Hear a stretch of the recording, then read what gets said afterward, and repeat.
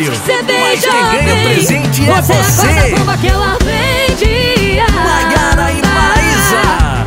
Sabe no o que você Municipal. Tem É dia te beija 17 de fevereiro. Só Domingo, a partir das 7 da noite. Para ir ao show, basta trocar 2 quilos de alimento não perecível por um ingresso. A troca pode ser feita no Ginásio de Esportes até o dia 16 de fevereiro. Vem com a gente.